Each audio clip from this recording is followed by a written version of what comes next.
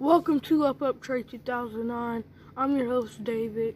Today I'm going to be teaching you how to do a front flip off of mini trampoline. So I'm going to show you what that looks like first before I teach you guys.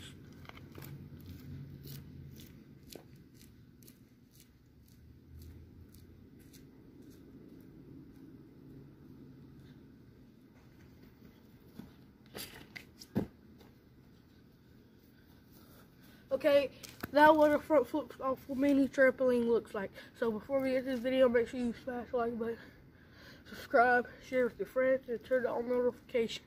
So let's get started. So first, what you need to do is, gonna get your legs build up. You ain't gonna be jumping high like without strong legs. So uh, what you wanna do is when you wanna do some squats, one, two, three, four, five. You want to work on that so you can like get height on your front flip. Okay, let's get started with the tutorial. So first, what you want to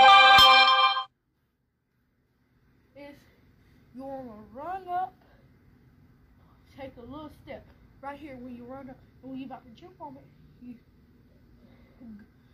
go like this, and then you want to jump like that and then you would blast all the way up, all the way up until your knees go in, and then make sure the butt is popping up, the butt is popping up. So make sure your butt's popping up so you can land perfectly like this. Perfectly like this. Mini trampoline is bouncy, so. Okay, that's it. I'm gonna show you two of them.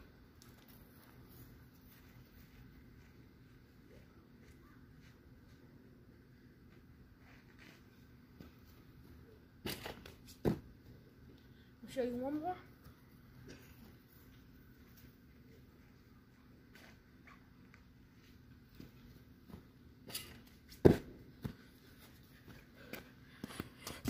And that's it for all this tutorial.